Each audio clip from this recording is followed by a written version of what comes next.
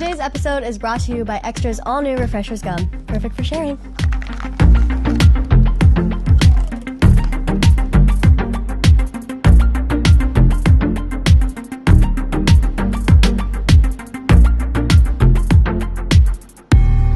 What is your most used emoji?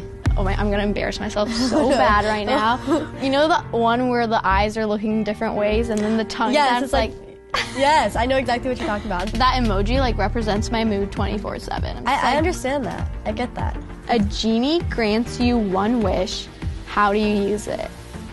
I feel like I always say this never says it's cheating, but they have to grant my wish. I want more wishes. That's, oh, that's Oh, that my is wish. cheating. I want infinite wishes. I get one wish. He has to grant it. That's my wish. I want Okay, so what would you do with your next wish? With My next wish, I'd probably just want like 20 puppies. and right then there. your third wish should be like a dog sitter. Yeah, because I don't know if I can ca- take care of that. We've got a plan here. We just need a genie. Yeah, we literally have.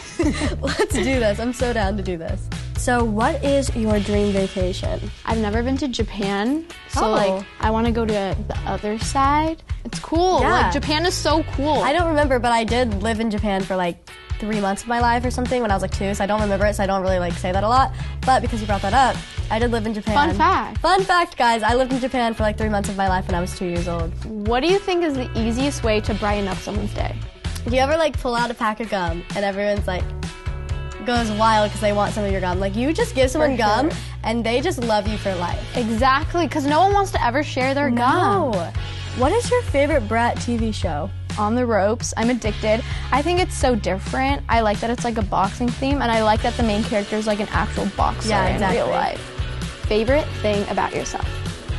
Oh, You get to be a little selfish. well, I mean, I guess this one, I'm very like determined when it comes to things. Like, if I have a goal, I definitely like reach for that goal and I don't stop until I can do that. Okay. Yeah. Determination. Determination. That's a good one. Thanks. I think I'm gonna stick with that. What is the best piece of advice you've ever been given? Whenever someone asks me this, I always like say the same thing mm-hmm. because I feel like it's so important. Someone once said to me, if you're about to do something and you feel like it's really embarrassing, but like mm-hmm. everyone's gonna forget about it in 72 hours, just do it. And like every time I make a decision, I just ask myself like, who's gonna That's- care? I like that a lot. There you go. There we go. Maybe that's that. maybe I can use that. Exactly. We, just became fast friends.